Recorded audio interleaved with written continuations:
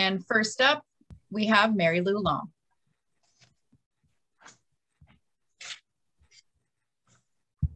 Good evening, Council and Mayor. Um, I'm Mary Lou Long, as you well know. I had to sign up for this, so you got my name and email. Uh, I was going to suggest that we reflect for a moment before I say the Pledge of Allegiance. Have you ever thought how you got to be here and now?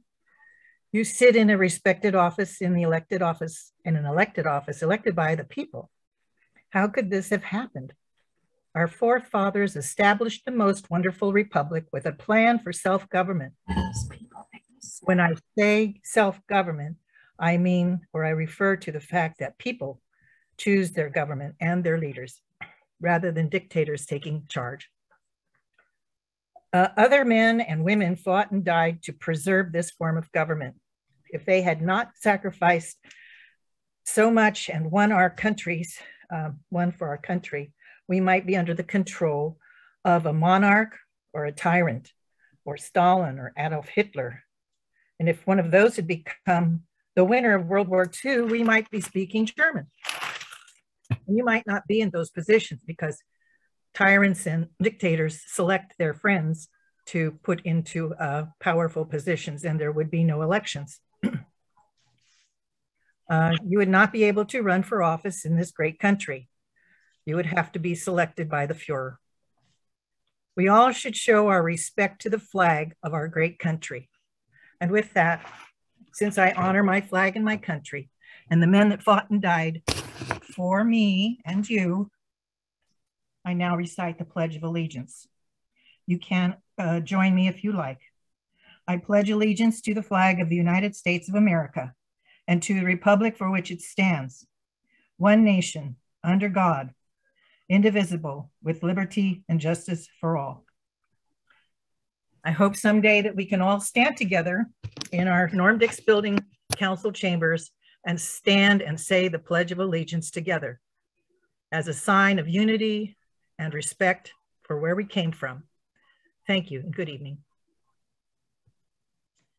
Next up, we have Jane Robolowski.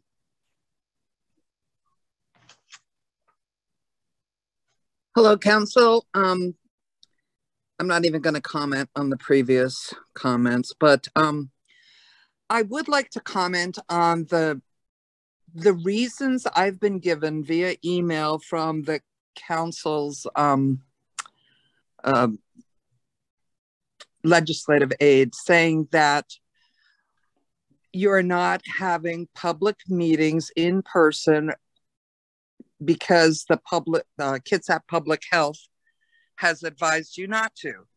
Well, I called Kitsap Public Health and talked to the board administrator.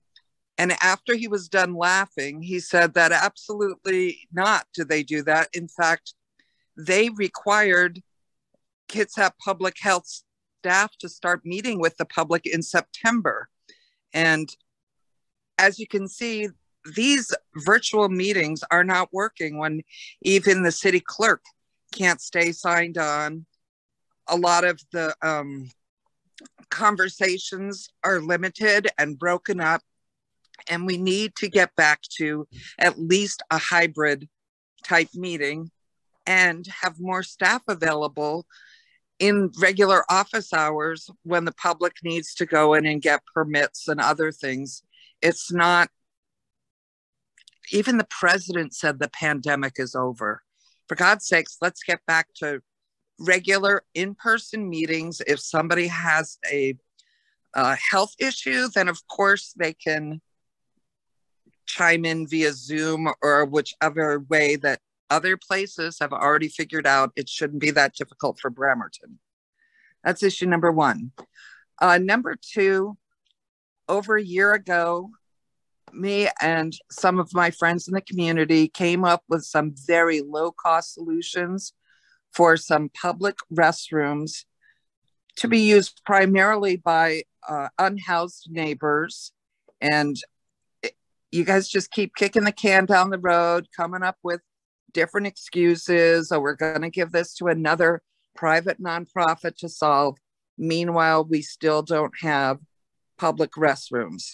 So I urge you just look into your humanity and get some public toilets out there and public garbage cans that people can use on a daily basis. Thank you.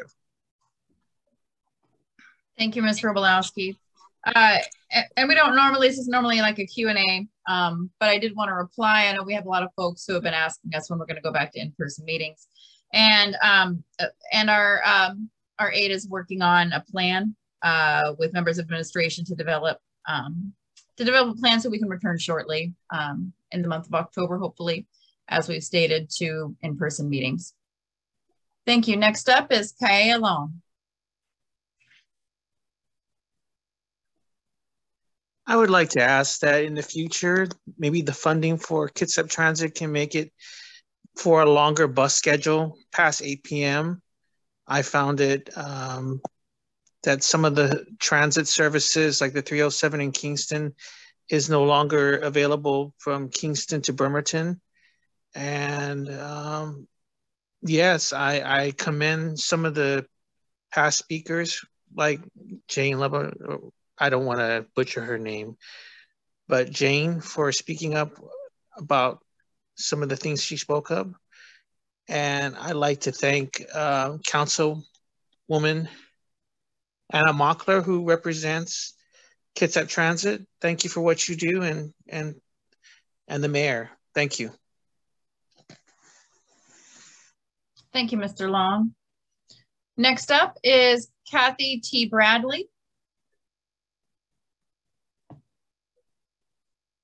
Hello. Um, I just wanted to um, first um, thank you all for like hosting these meetings.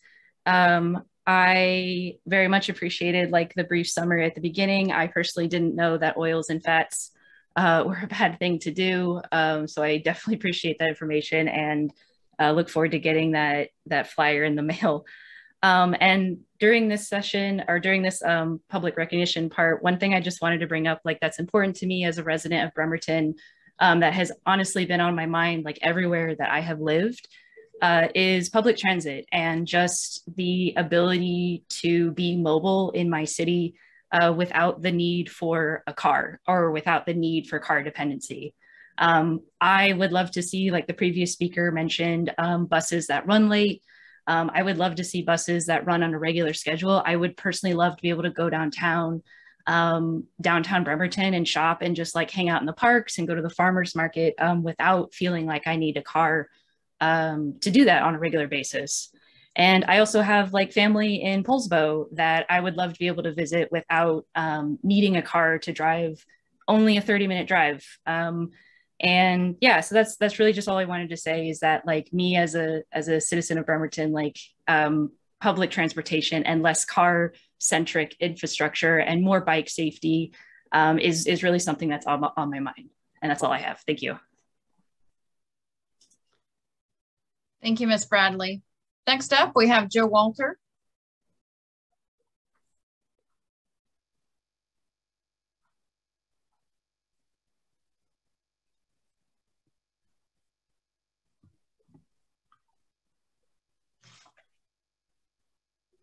Hi, am I unmuted now?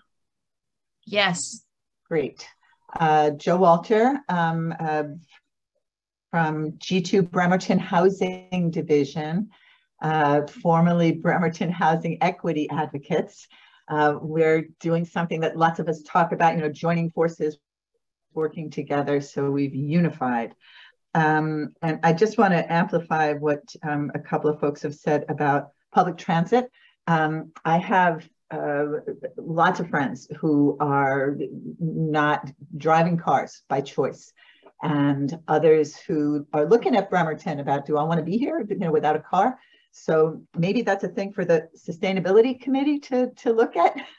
um, I, I, just want to support that idea of, of take it really seriously. I'm thinking about zoning too, that when you build a new um, residence, uh, that there are parking requirements for that. Maybe we can lighten up on those a bit.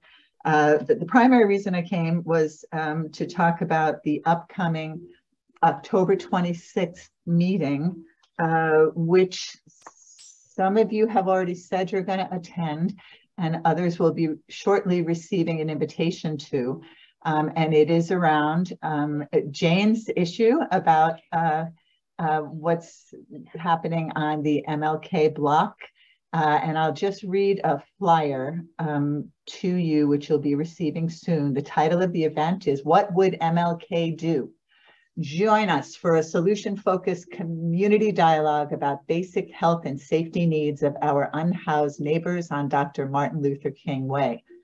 Um, Wednesday, October the 26th from 10 a.m. until 2. Um, our focus is on the most basic health and safety issues, toilets and trash. Let's use our collective power to resolve problems that have felt insurmountable.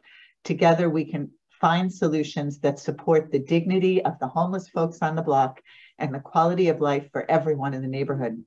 Bring your ideas, your enthusiasm, your research, your wisdom, and your compassionate heart. This is a hybrid meeting. In-person attendance is preferred and others can attend via Zoom. Um, it is a, a, a long meeting because my fervent hope is that we can come out of this meeting uh, with all of our questions answered and some clear solutions to present to those who can um, make our ideas for solutions happen. And I think it's going to be coming back to you, you know, with people um, helping to answer this question that we've all felt embarrassed and uncomfortable about not being able to, um, to fix for so long. Okay, thank you. Thank you, Ms. Walter. Is there anyone else for public recognition? Next up, we have Marwan Cameron.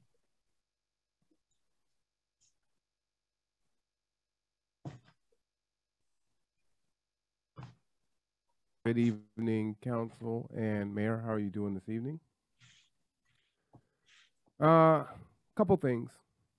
The main thing that I want to touch on tonight, and I have not had a time to gather my thoughts, but myself and several others were very dismayed at the recent REACT meeting um, that took place. It was very offensive to watch what happened in that meeting. Uh, it appears that the fervor and the dedication of racial justice and equity since the murder of George Floyd has seemed to wane, and people don't have the same zeal uh, to do the work as they once protested that they that they did. Mayor, uh, I don't know when this person is coming on that you're you're bringing on, uh, but this person needs to take direction uh, from REACT and look at things through a racial equity lens. And I'm asking you to not allow them to uh, move the goalpost and move it from racial equity to everything else.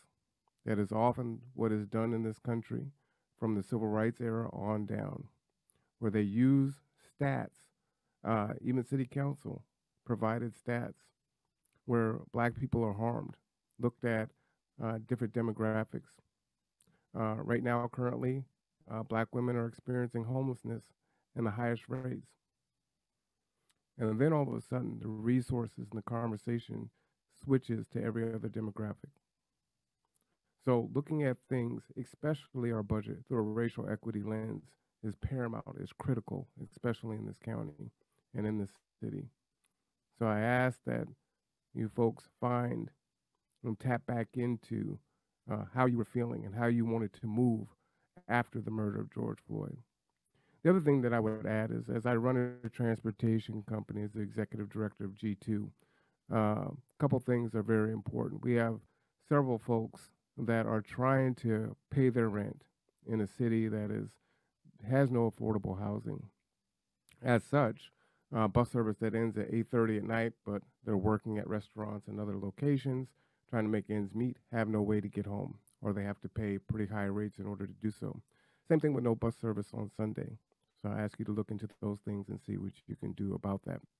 Joe Walter from G2 Housing talked about our event in October, and we hope to see you all there. Thank you for your time.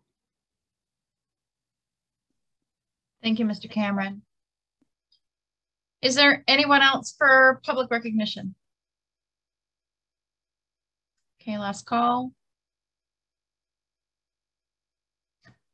Okay,